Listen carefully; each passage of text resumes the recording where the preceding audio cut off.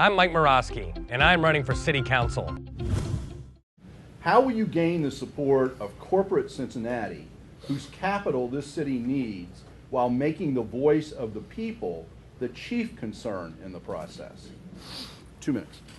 And that's an excellent question. And uh, for that very reason, two years ago, I sought out uh, the University of Notre Dame uh, because they have an MBA program in not for profit management and government relations. I knew real quickly as I was seeking foundation monies with my not for profit work that I could get to about 70% of the way through the conversation, and then the last 30% I was well aware I was making up. But I was good at it because I have an MA in language. So that said, I really wanted to know what those hard numbers were so that I could do the be- most for, you know, or the best for most people. So I just graduated in May with my M&A degree from the University of Notre Dame so that I can talk to talk with those folks. Uh, plus, through my not-for-profit life, I've made a number of relationships with C-suite executives and, and, you know businessmen and women throughout the city.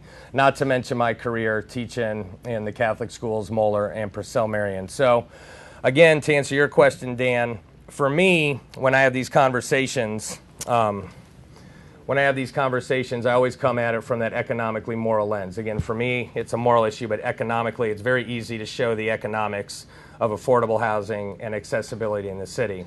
Furthermore, I think it's extremely simple to show the economics of having a strong African American minority business uh, community in the city when only 1% of the shared equity is in that community and it's a majority in our city. You don't need an economics degree to figure that out. So, really, as I've done uh, for my, my whole career, send the same message. And depending who you're speaking with, you need to show how for them this is going to benefit when, again, the moral issue may not be at their core principle. So, breaking down the numbers, showing the returns on investment similar to what Toledo's been able to do with their visitability and accessibility incentives, and using best practices around the country as evidence.